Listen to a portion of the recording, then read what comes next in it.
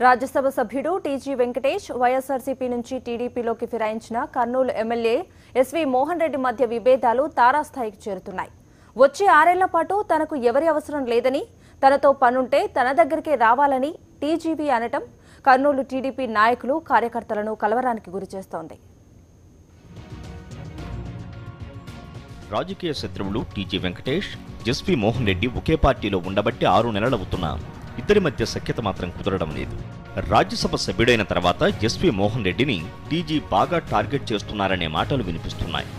జన చైతన్య యాత్రలు సభ్యత్వ నమోదు పార్టీ కార్యక్రమాల్లో తన వర్గం బాగా కష్టపడి పనిచేస్తుంటే పేరేమో ఎస్వి మోహన్ రెడ్డికి వెళుతోందని టీజీ వెంకటేష్ కార్యకర్తలతో అన్నట్టు తెలుస్తోంది. దీంతో ఇద్దరు ఎవరి దారి వారిదే అన్నట్టు వ్యవహరిస్తున్నారు.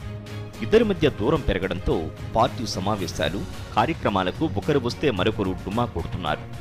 వచ్చే ఆరేళ్ళ పాటు తనకు ఎవరితోనూ పనిలేదని పార్టీ పరంగా కానీ ఇతర విషయాల్లో కానీ తన సాయం కావాలంటే కలిసి రావాలని లేకపోతే వారి కర్మని కార్యకర్తల సమావేశంలో ఎస్పీ మోహన్ రెడ్డిపై టీజీ ఘాటు వ్యాఖ్యలు చేశారు.